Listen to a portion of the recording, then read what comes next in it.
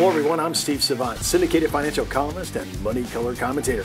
On today's show, all financial advisors are not equal. Part one in our series on retirement tips for seniors with registered financial consultant and investment advisor representative, Ted Meyer. Welcome to the show, Ted, and welcome back yes, to the thank show. Thank you. We were here last year, and I appreciate having me back again. Well, uh, I, I, I know that all financial advisors are not created equal. But are they are they really? There's different people hanging their shingles out in the public domain that, that say, "Hey, listen, this is what I am," and there are major differences. Why don't you walk us through the kind of hierarchy of the advisory and see where we're at and see if people are really getting, especially with the Department of Labor's new law. This is taking on a whole new uh, idea. I think that what you just said there about the Department of Labor law that's really brought it to the forefront because I think I've been in the business about 14 years now and now more than ever, people are asking us, what's the Department of Labor doing? What's this rule about? And so they're really looking at the investment advisors as what are they, who are they, and how are they doing their business, and what do they do? So really, there's there's two types of advisors out there, or maybe three. Um, a lot of people are used to the old investment advisors, the brokers, the IAs that were we consider money gatherers, where they went out there, they gathered assets, kept them under management, and then every year they sat down and talked to you about it, and they were really interested in just gathering assets and managing them. Mm-hmm. And then now you've got 65 licenses that's out there where they're investment advisors. They're technically fiduciaries, is what they're called. And so that's the big thing with the Department of Labor was, is your advisor a fiduciary or not? Is he doing what's in your best interest, or is he doing what's in the best interest of the firm? Well, let me just stop you there for a second. It seems to me inherent in the morality of our business that we should be putting the client first anyways. Why do we have to have somebody come with a reg to tell us to do that? You know what? I'm not really sure. I, am cut from the same cloth that if you're in business, you're trying to do the best for the client. That's the best way for your business mm-hmm. to move forward. But I think what's happened in the past was everybody fed into a little suitability. Mm-hmm. They fit into a box where as long as it's the right, the client fits in this mm-hmm. box, we can sell them anything in here. And they didn't take into account things like commissions, fees, structure, mm-hmm. performance. And so the DOL's come out really from the 401k side of it, saying there's a lot of money in 401ks where folks have been putting money away for a long time, not understanding how these fees work.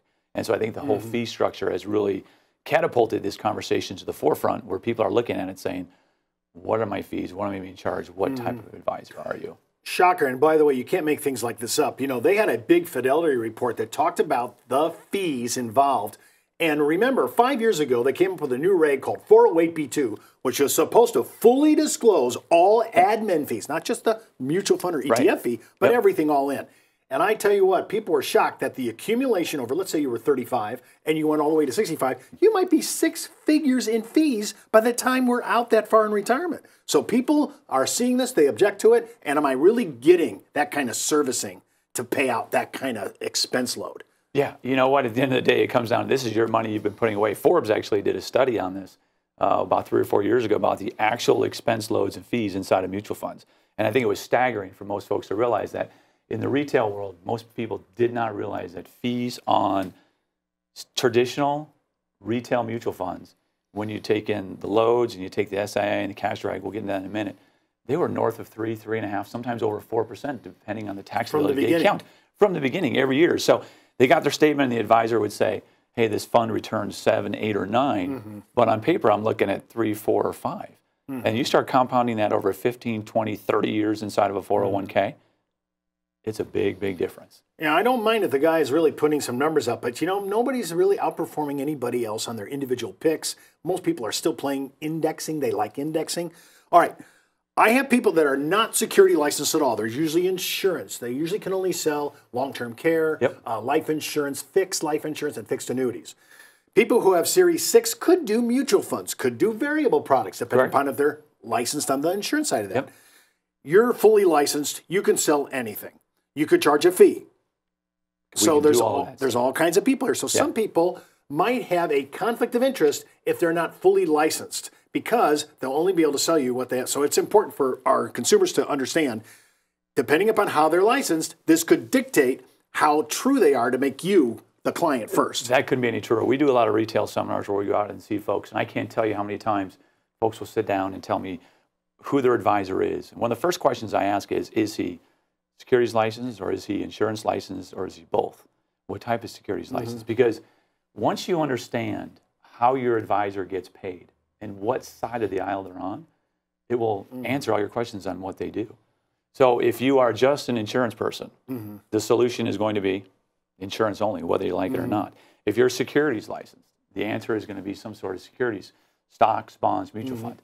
But if you do both, and that's what our firm does, we feel that the best thing to do is sit down with the client, figure out what their overall plan is. What are they trying to accomplish? Because the answer for that could be a re- it could be a mutual fund, it could be an ETF, could be stocks, mm-hmm. it could also be guaranteed income for life, it could be long-term care. And so when you sit down with them, you want to understand everything that they're trying to accomplish and then be able to provide anything that they need. Okay, so do I need to kind of do a little bit of due diligence on the guy that I'm hiring as an advisor then? I mean, is that what you're saying? That's exactly what I'm saying. You need to look at it and say, where is my money kept and how do they get paid? Because that will dictate 100% what they're going to do.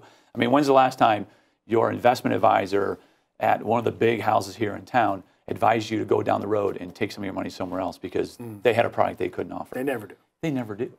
And, and typically, when I deal with a lot of the retirement market, 55 and older, getting near retirement, we start thinking we want to get a little safer. We start looking at income. We start looking at the distribution hmm. of our money instead of the accumulation of it. And so that takes into a whole new phase of life. Instead of hmm. gathering assets, we're now taking income. We're distributing them. We got to make sure these things last. And so if your advisor, if your advisor is not set up to be able to handle those things for you, hmm. you can get into some trouble.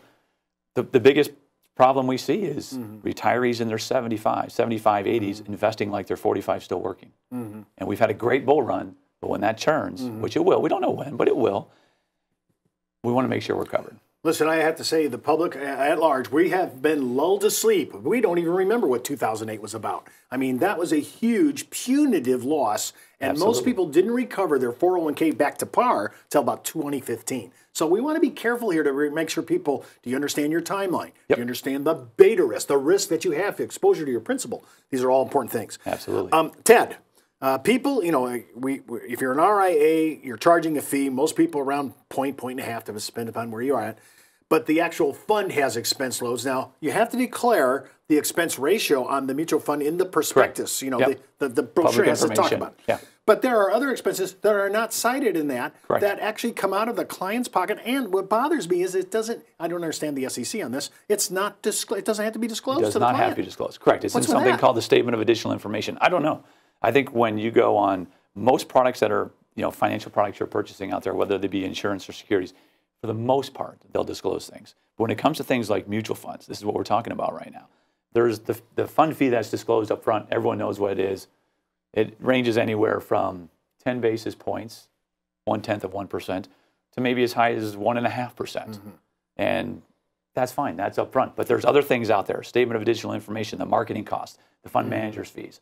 There's things like cash. How much? When I invest in a mutual fund, I want to invest. I want to be fully invested into whatever they're mm-hmm. trying to do.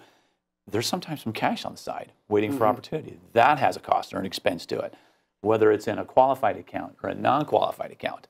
There's another mm-hmm. expense we have to take into account because if you keep trading all day long in an IRA or a qualified account, no tax on that. That's fine.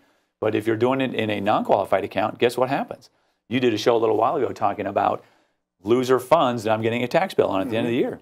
It's exactly what we're talking about. Well, let's, right just, let's just clean that up for a second here. Yeah. In 2015, from August to the end of the year, is a bad scene. Most Americans in mutual funds and in, unfortunately even in ETFs, ETFs, yeah. we took a hit. We took a hit. But you don't really see the hit in taxation until you get to non-qualified monies, which is, of course, not in your traditional retirement accounts. All right.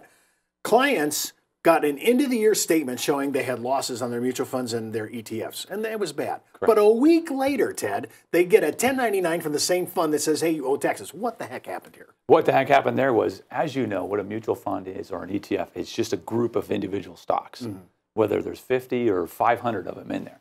And what happens is the overall investment, the mutual fund could have lost money that year. But inside of that mutual fund, certain stocks made money that year. Hmm. The performance was pretty good. So now we're getting a loss on our mutual fund, but we're getting a tax bill for some of the gains that happened mm-hmm. inside of it. Doesn't make any sense. No, it doesn't. And the public, I've been talking about this for 35 years. I mean, but here's something I want you to think about this.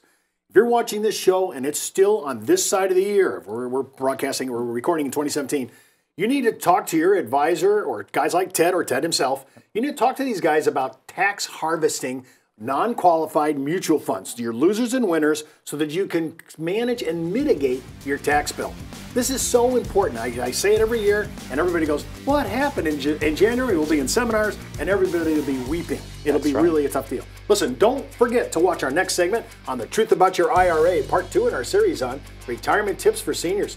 And keep in mind, before moving forward with any of the ideas on our show, always check with your tax consultant, legal counsel, financial advisor. You've been watching Steve Savant's Money, the name of the game.